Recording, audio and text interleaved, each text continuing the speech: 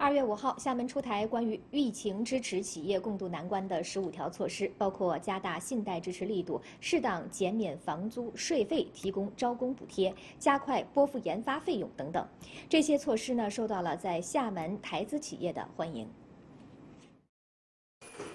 厦门有五千多家台资企业，他们表示，这些政策将有效缓解疫情对企业带来的不利影响，让企业渡过难关。有台商表示，政策中提出适当减免房租，这将帮助企业应对资金周转的问题。政府出台的这个政策，呃，很大的帮忙，我们过了都过了难关，呃，一个减免对我们很重要，因为我们要买很多的材料，哦，要照顾很多的员工，这样的减免对我们可以松一口气。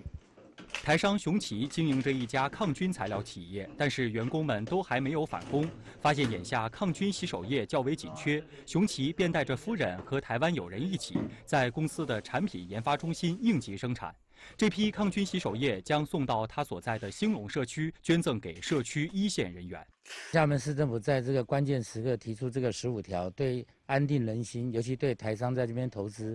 稳定军心，我想是非常有帮助。第十五条呢，对于研发型的企业的话，就是我们研发方面可以这个补贴的。那我们对我们来讲，我们也是觉得非常实惠，因为我们就是研发型企业。